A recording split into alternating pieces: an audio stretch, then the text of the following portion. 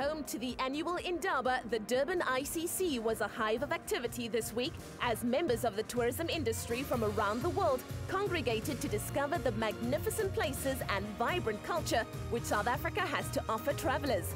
After an exhilarating opening ceremony filled with music and dance, the Heritage Pavilion then took center stage as Indaba joined hands with some of SA's top designers to create an experience none would forget. Home to some of the most breathtaking natural sights in the world, South Africa is truly a unique and beautiful tourist destination.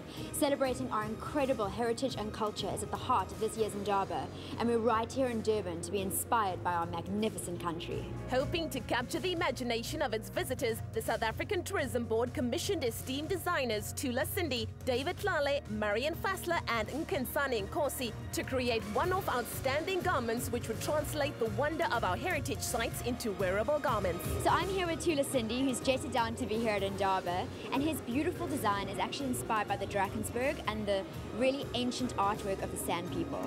So being inspired by quite an ancient landscape, which was last inhabited 2,000 years ago, how have you translated that into a modern design for a fashion audience today?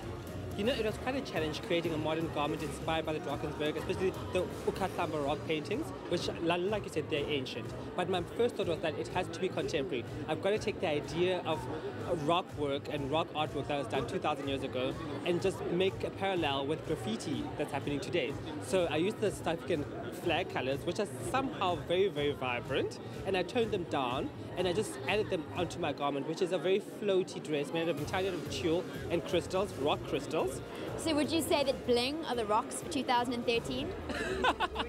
I would say spray paint is the landscape for 2013. You know, I really try to add that kind of very contemporary, you know, very, very fresh way because South African tourism is also promoting South Africa in a very fresh way, in a very innovative way. So I wanted to take it in that spirit, not just in a very literal sense of drawing the little elands and the little men running on the dress.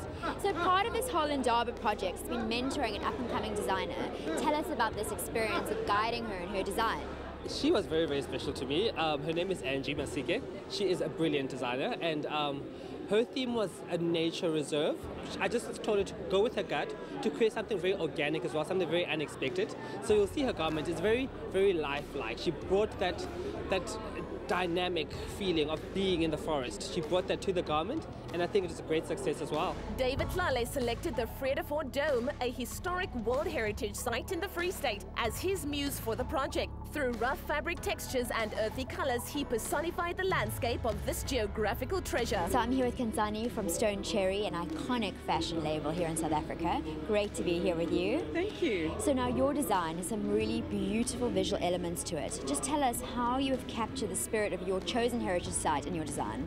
Well, we were lucky enough to do two, to represent two heritage sites. So it was the Isimangaliso Wetlands Park, and the second one was the Table Mountain National Park. And I mean, who wouldn't be inspired by these really, really amazing places? Isimangaliso, really, um, simply put, is a place of awe. Um, and for us, you know, we really wanted to capture the, this miraculous, magical, mysterious element that everybody describes. And we did that um, by creating a dress. The silhouette really resembles like a water lily. And I love the fact that we were able to delve into the fantastical, which we so love to do. Um, we incorporated a lot of beading and glitter to create the mystery and the magic. And the Table Mountain one was also, you know, just celebrating the, the fauna and flora that exist on that in that national park. And we used airbrushing um, on very delicate silk because you you know you get the rigid rough nature reserve but there's also the, the, beauty and the, the ethereal quality of just Cape Town. And we tried to capture that by using silk and beading and embellishment. It was a lot of fun. Inspired by the lost city of the Mapungubwe National Park and the wealthy civilization that lived there, Marianne Fassler mentored her apprentices to create an evening gown fit for an African queen. Bongile and Sergio, you had a really amazing experience working with Marianne Fassler, one of South Africa's famous designers. Please tell us about this experience. It's really an honor to be working with her. Uh, she, she's a lovely person to work with and she pushes you to the limit. I mean, crafting those garments, each fabric, piece by piece, different types of fabrics, it was really amazing.